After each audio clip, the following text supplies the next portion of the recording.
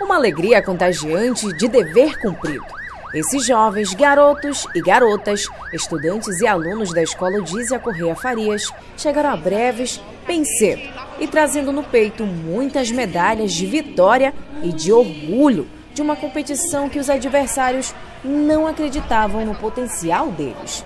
São vários títulos, são títulos importantes para essas meninas, para essas meninas que a gente que passa o ano inteiro treinando. É muita dedicação, é muito treino e trazer os títulos para breves, para a cidade deles, para os pais deles é muito importante. Para a gente também.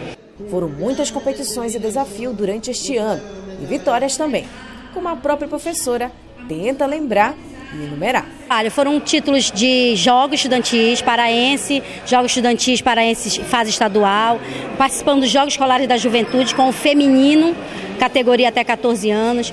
No, na Copa Campina Grande, a 21 Copa Campina Grande, que é uma Copa do Brasil inteiro, que o Brasil inteiro participa, nós trouxemos o título de campeã juvenil feminino e vice-campeão juvenil masculino.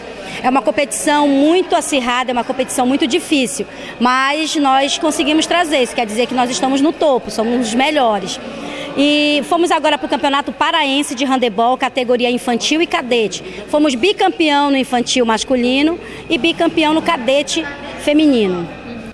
É, não é fácil narrar todo esse orgulho de ter alunos competitivos esforçados. E eles não poderiam ser recebidos de qualquer jeito. Primeiro, uma bela volta com um grande estilo na cidade, para que todos conhecessem essa equipe campeã.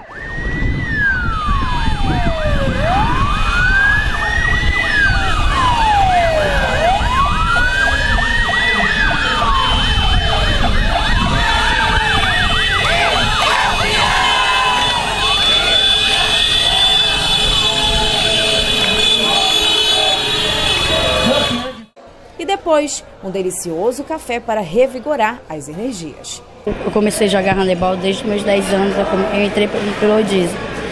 Lá tinha um projeto que iniciou desde 2009, sendo que depois daí eu comecei para o ginásio onde, onde tinha treinamento de handebol.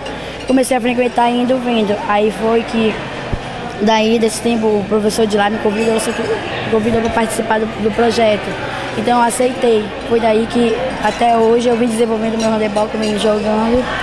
E, e essa medalha que eu tenho aqui foi conquistada com suor, com muitas coisas que a gente teve que enfrentar para hoje participar de várias competições. Então eu acho que é, eu agradeço muito a professora Ana Cláudia, a Babyane, que treina a gente e que façam de tudo para a gente estar participando de várias competições. O vice-prefeito Wilson Mainardi esteve participando de toda a luta e busca de apoio da equipe, o qual teve a atenção do governo municipal que apoiou e ajudou. Breve está de parabéns, parabéns para todos aqueles que participaram dessa caminhada. Está de parabéns a Ana, Ana Cláudia e a Baby Pessoa dedicada, pessoa que há muito tempo ela vem lutando, sabe, sabe organizar e, e selecionar a gurizada. Está de parabéns breves, campeão é, no redembol masculino e feminino em primeiro lugar. Depois de Campinas, agora o novo desafio é no dia 30 de novembro, em Paraopebas. Nós conquistamos a vaga nas finais em Moju, em setembro. É o juvenil masculino e o juvenil feminino, Campeonato Paraense. No, no, período de 30, 1 e 2, 30 de novembro, 1 e 2 de dezembro, nós estaremos em Paraupebas é, nessa competição e tentando trazer mais um título para Breves, mais um título para nossa cidade, mais um título para o povo. Essa turma está preparadíssima para mais uma competição. Com eles não tem tempo ruim, não que eles querem é mais histórias para contar e mais medalhas no peito. A gente orgulha muito de ter essa medalha, porque para a gente não, não, é uma, não é uma coisa bem pequena, para a gente é um sonho. E a gente, a, mês que vem, a gente vai estar indo para Parapés para participar do Campeonato Paraense do Juvenil. E lá, se Deus quiser, se a gente chegar à final e ser campeão, vai ser muito orgulho para a gente. Eu vou dar muito feliz.